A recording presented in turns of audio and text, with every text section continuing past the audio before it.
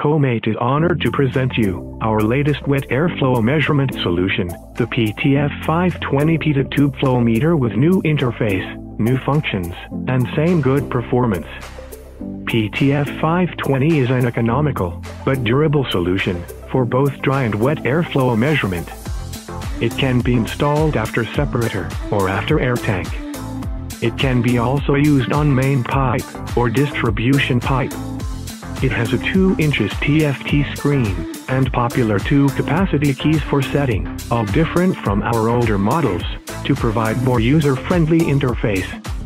Unlike other similar products in markets which requires initiate offset every time of mounting, PTF 520 is an insert-to-use product, requiring no zero-point setting.